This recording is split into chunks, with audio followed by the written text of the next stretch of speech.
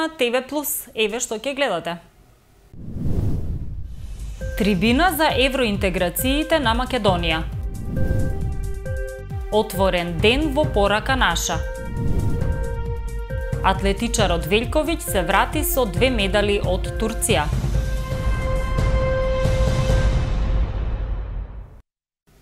Македонија во Европа, реалност или фикција, беше насловена денешната панел дискусија одржана во пресрет на Денот на Европа 9 мај. Секторот за меѓународна соработка на општина Куманово по четврти пат е организатор на трибината посветена на процесот на евроинтеграцијата на нашата држава. Целта беше преку повеќе дискусии да се испрати порака дали Македонија е на вистинскиот пат за евроинтеграциите. Во пресрет на 9 мај, Денот на Европа, секторот за евроинтеграција во општина Куманово денеска организираше панел дискусија на тема Македонија во Европа, реалност или фикција.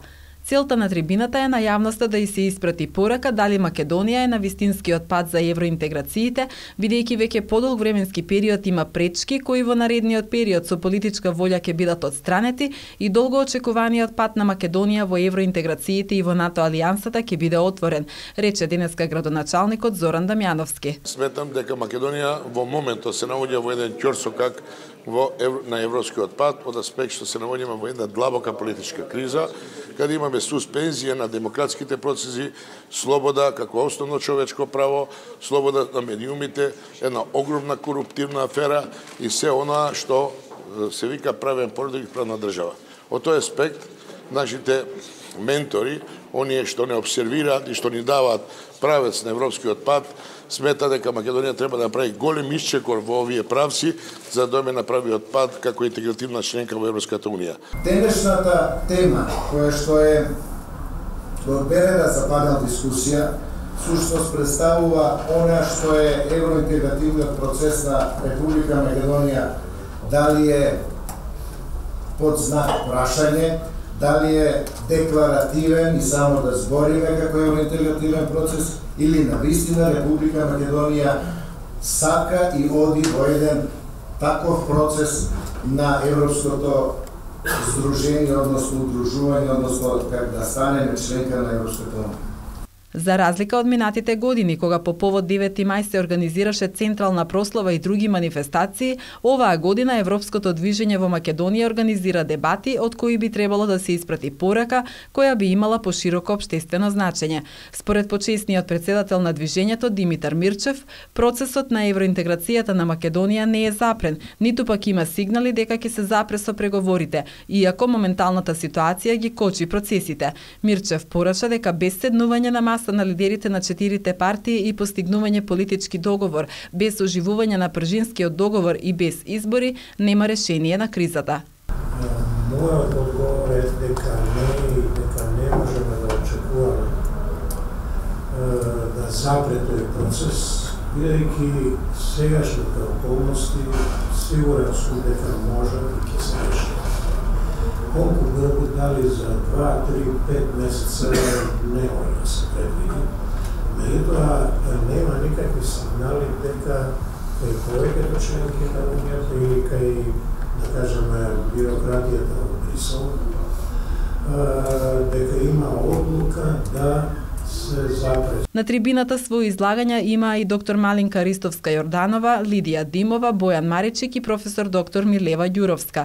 Првото нешто за што ќе сакам да, да зборувам се да, европските вредности.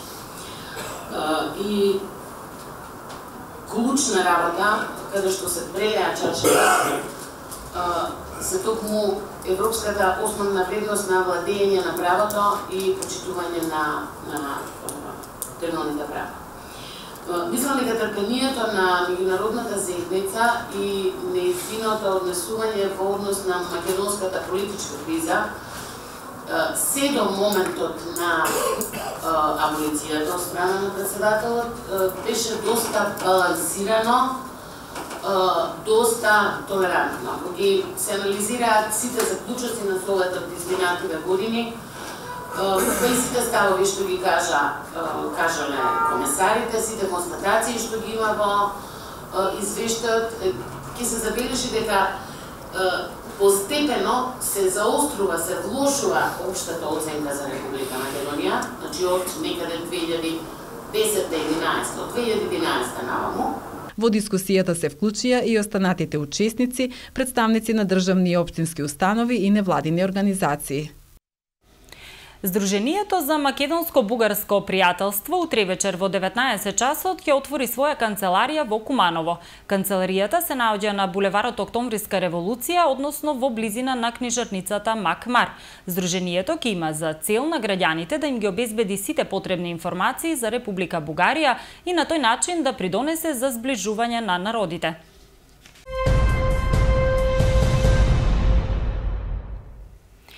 Извештај за работа на јавното предпријатие Пазариште, извршување на буџетот и проширување на истиот се само дел од темите на кои што ќе се дискутира на утрешната седница на Советот на Обштина Куманово.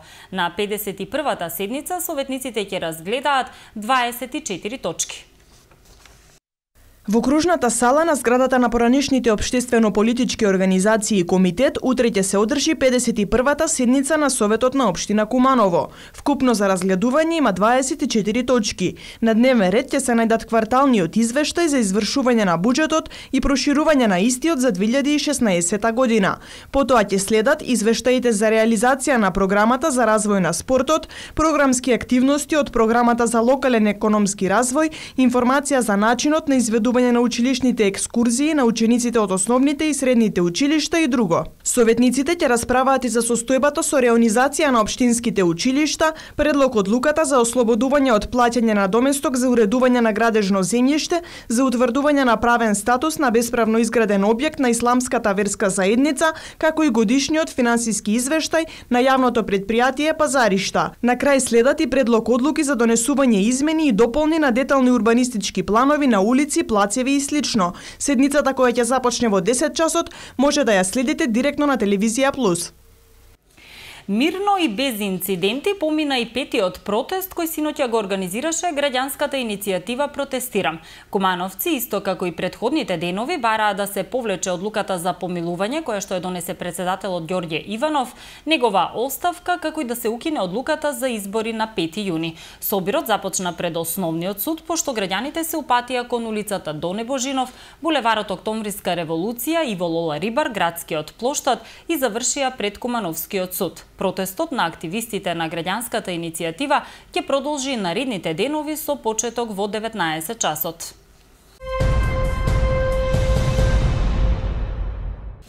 Рачни изработки и творби кои ги создале корисниците на дневниот центар Порака наша денеска имаа можност да ги видат кумановци. Имено лицата со попреченост изминативе три месеци во рамките на проектот Кројачка работилница и работилница за шиење има можност да стекнат нови работни вештини. Проектот го спроведува дневниот центар Порака наша со финансиска подршка на организацијата Пискор. Во просториите на дневниот центар Порака наша денеска се одржа отворен ден на кој посетителите можеа да ги видат рачните изработки и творби кои што ги создале корисниците. Оваа активност е во рамки на проектот Кројачка работилница и работилница за шиење која ја спроведува центарот заедно со организацијата Пискор. Корисниците на дневниот центар изминативе три месеци имаа можност да ги развиваат работните вештини за да подоцна станаат конкурентни на пазарот на трудот. Создадените производи ќе се најдат на продажни изложби, а средствата ќе завршат за потребите на центарот. Организацијата Peace Corps за овој проект одвои 2600 долари. Мировен корпус Македонија работи во Македонија 20 години од 1996 година преку своји волонтери кои ги има во различни организации, меѓу кои и со во порака наша. Нашата волонтерка е веќе две години, две и пол години веќе работи во порака наша. А ние како Мировен корпус бевме во можност да го помогнеме овој проект со мала финансиска помош. Елизабет Трајановиќ, волонтерката која веќе две години е во порака наша, истакна дека проектот им помогнал на лицата да ги подобрат своите вештини во шиење. Таа нагласи дека со донираните средства купиле две индустријски машини кои уште многу долго време ќе можат да ги користат корисниците. Деца свак ден биде пуно среќен да влезе и почне да работи за шиење. Ја не видев колку среќен пред. Ма, деца почнал да бара кој ќе седи да шие. Овој проект исклапи многу добро овдека. И Свити гледа напред да види повише успех. Демир Исмаилов, кој е дел од секцијата за шиење, нагласи дека проектот го променил секојдневниот живот на овие лица кои активно посветено и со воодушевување ја следели изработката на производите. Ведам на вистина потенцијал кај нив. Што научија? Научија, може би за нас е тоа, некој да се каже, просто, но на нив е тоа огромен чекор, затоа што научија да, да, да, да да направат процес од конец до иглата. Тоа е можеби за обичен човек нормална работа, но за нив е тоа е огромен успех. Значи научи еден добар процес на шиење за обични штепови, да кажам така стручно, научија да да да да да отшиуваат, значи се што е шиено па да го ошијат. И тоа е дел од процесот кој го научивме научивме да да кроиме, значи со неколку деца кои знаат да држат убаво да кажам креда или ленир, да кројат со маказички, затоа што сето тоа беше купено за нив и научивме со две кориснички да пеглат. Од организацијата Пискор информираа дека е во тек оглас за ангажман на волонтери кои може да се пријават до 30 април. Сите потребни информации може да ги најдат на веб страната на организацијата. Државните прваци за 2016 година, ракометарките од основното училиште Браќа Миладиновци, денеска со градоначалникот Зоран Дамјановски ги споделија своите впечатоци и искуства од 17 надпревари кои мораа да ги поминат за да се закитат со првото место. Дамјановски е задоволен што ракометарките со постигнатиот резултат уште еднаш докажале дека Куманово е спортски град. За ракометарките од основното училиште браќа Миладиновци кои станаа државни прваци за 2016 година денеска се организираше прием кај градоначалникот Зоран Дамјановски. Пионерките во придружба на својот професор Милорад Јордановски ги споделија своите впечатоци и искуства од државното првенство со првиот човек на Куманово, кој им се заблагодари што уште еднаш докажале дека Куманово е спортски град. Ракометарките мораа да победат на 17 надпревари, вклучувајќи ги општинските, зонските и меѓузонските, за да се закитат со овој медал. Иако се надевавме на победа, сепак не бевме сигурни, вели професорот по физичко образование во основното училиште браќа Миладиновци Милород Јордановски за да дојдеме до, до самите, самото државно првенство, поминавме низ голем број на квалификации. Преди се, тука беа присни 8 екипи, најдобри од општината Кумано, понатаму одевме на некои зонски така наречени надпревари, не така наречени, меѓу каде што доаѓаат екипите на Свети Николе, Пробишти, Кратова, Паланка и така натака.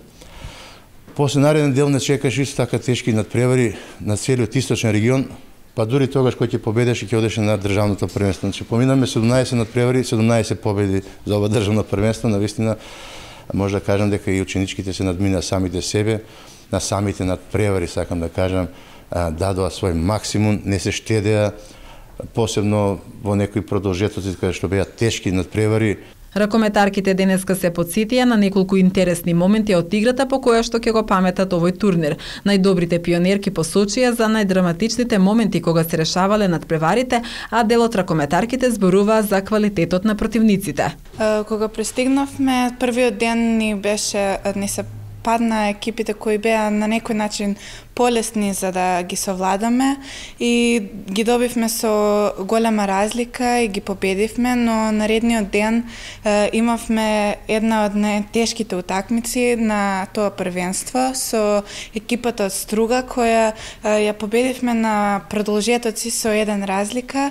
Секако дека за ракометот е потребна екипата, но некогаш се истакнува некој играч, сега јас бев тоа и на на надпреварот со Струга кога игравме на продолжетоци, пред крајот на првиот продолжеток, имавме гол од екипата на Струга и да, да го изведеме голот од половина од теренот. Три секунди пред крајот јас шутнав и дадов гол од половина од теренот.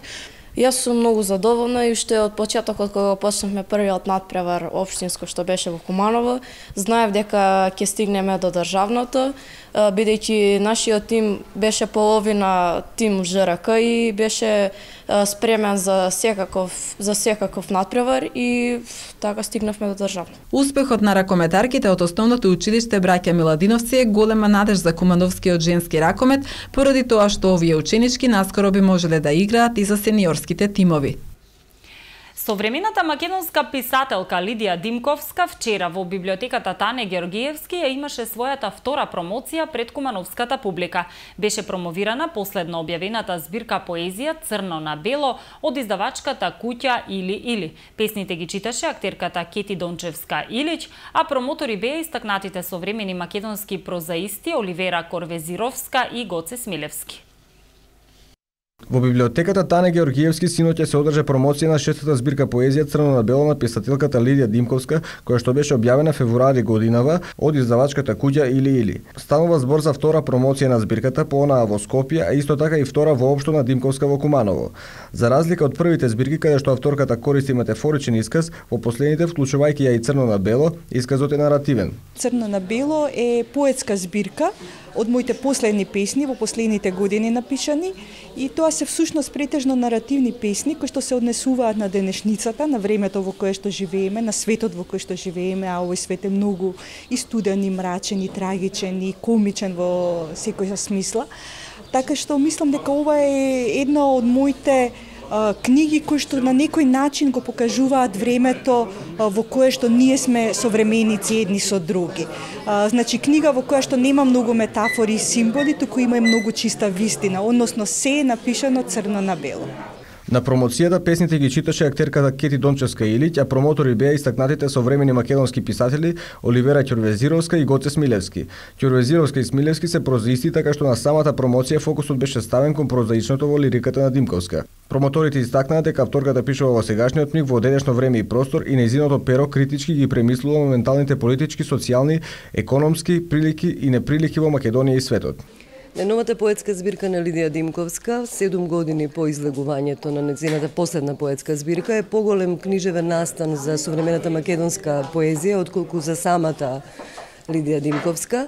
Тој е недобриот глас не неизин, туку недобриот глас во современата македонска поезија. Црно на било се песни кои се а, како што го фокусира на сегашниот миг на конкретните горливи теми во политиката, на мотивите на екзилот, на бегалската криза, значи се тоа што го го допира овој наш свет на, на постојањето денес и сега. Лидија Димковска е родена 1971 година во Скопје, каде што и завршила филолошки факултет на катедрата Обшта и компаративна книжевност. Работела како лектор на Универзитетот во Букурешт, Романија, каде што и докторирала на темата романска поезија, а потоа се преселува во Словенија, каде што се уште живее и преведува романска и словенечка литература на македонски јазик. Димковска е дел од авторите кои што постколонијалната критика ги прецизира како автори во доброволен екзил, поради тоа што иако со децении живее надвор од Македонија, таа се уште пишува на македонски јазик. Таа е истакнат поет и прозаист која што досега има објавено неколку збирки поезија, Рожби од исток, Огнота буквите, Изгризани ногти, Нобел против Нобел, но исто така има објавено и два романи Скриена камера и Резервен живот.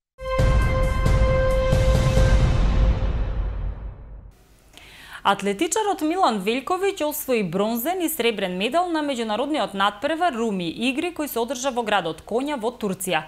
Велковиќ беше представник на македонската атлетска репрезентација. Тој освои трето место во трка на 100 и второ место во трка на 300 метри во конкуренција на најдобри репрезентативци од 7 држави. Атлетичарот Милан Великовиќ од атлетскиот клуб Куманово се врати од меѓународниот надпревар наречен Руми игри за млади под 17 години од Конја, Централна Анатолија, Турција со бронзен медал во дисциплината трка на 100 и сребрен медал на 300 метри. Меѓународниот турнир кој што се одржа по шести пат е од чест на познатиот суфи поет и филозоф Руми. На турнирот имаше надпревари од атлетика, олимписко дигање тегови, таквондо, карате и велосипедизам. Надпреварите за атлетика се одиваа на 21 и 22 април, а Велјковиќ се надпреваруваше со репрезентативци од Азербеџан, Турција, Кипар, Бугарија, Босна и Херцеговина и со тимот на Конија. Тренерот на атлетскиот клуб Куманово Филип Колевски истакна дека е задоволен што Велковиќ и покрај тоа што освои медали во две конкуренции, успеа да го одржи резултатот кој константно му овозможува да биде најдобар на државните надпревари. Настапивме ние со атлетската репрезентација на Македонија, инаку има и други спортови во кои се над мислам сите надпревари се меѓународни, така што оваа манифестација тежне за за ваква возраст можеби да е најголема во регионов и ја викаме како Олимпијада во мало за подготвување нели на младите се оно што ги очекува кога ќе одат на такви комплексни спортски игри. На надпреварите во атлетика, значи, настапи од Кумано Милон Велјковиќ, како член, значи, од 11 членов, а вкупно, значи, 5 машки, 6 женски репрезентација и само двајци успеа да се закитат од нашата репрезентација со медал, едно момче, значи, од Прилеп, со освои бронза и нашиот Милан Велјковиќ кој освои сребрен и бронзен медал. Велјковиќ посочи дека меѓународните надпревари имаат големо влијание врз неговата стабилност како атлетичар. Меѓународното искуство е важен фактор младите атлетичари да може да ги надминат грешките, а резултатот на Велјковиќ во конкуренција на најдобрите од 7 репрезентации од различни континенти е успех кој влијае на неговата самодоверба. Имаше на надпреварувачи од од вкупно се седум држави во во атлетика и така да конкуренцијата беше доста јака. На на 100 метри мислам дека можев и подобро да направам, но сепак сум задоволен, а на на, на 300 метри првиот што заврши беше така доста појак од мене, па морав со второ место да се задоволам. И се вкупно сум наистина задоволен. Со оглед дека прв надправ на отворено беше ова, значи не бев немавме во можност кај нас сезоната започва подосна да имаме некои контролни натпревари да го темпираме во форма, но источен резултат што на 300 метри на 700 стотинки до неговиот личен, што е негов втор најдобар резултат. Во меѓувреме атлетичарите продолжуваат со меѓународните надпревари. Денеска Милан Велјковиќ, Матеја Ефремовска и Сања Тимчевска веќе заминаа во Бугарија каде учество ќе земат атлетичари до 19 години. Атлетичарите на клубот Куманово се на помала возраст, но од клубот посочи посочија дека надпреварувањето со повозрасни ќе им овозможи полесно да се вклопат на балканските и европските првенства. Пинг-понгарките на клубот Куманово завчера со трето и девето место се вратија од младинското државно поединечно првенство кое се одржа во Штип. Ива Ефтимска го освои деветото место, а Ива Димитриевска постигна солиден успех, така што по сите одиграни мечеви се најде на третата позиција. На предходното сениорско државно поединечно првенство кое што се одржа во Струмица, пионерките исто така зема учество. По одиграните надпревари со сениорките Ива Димитриевска го освои петото место.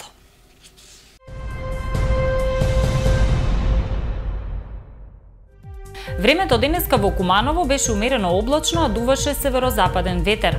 Дневната температура достигна 14, а утринската се спушти до 5 степени Целзиусови. За утре метеоролозите најавуваат сончево време, при што максималната температура ќе се искачи до 20 степени Целзиусови, а минималната ќе се намали до 3 степени.